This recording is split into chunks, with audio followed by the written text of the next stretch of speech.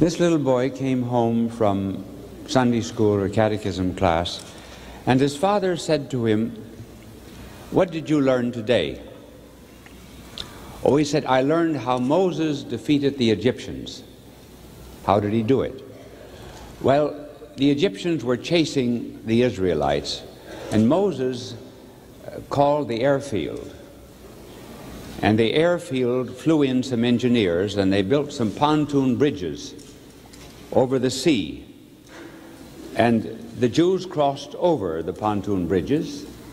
Then another fleet of planes came and they bombed the pontoon bridges as the Israelites, I mean, the Egyptians were on them and they were all killed.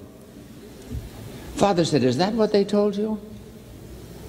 No, he said, It isn't. But if I told you what they really said, you wouldn't believe it.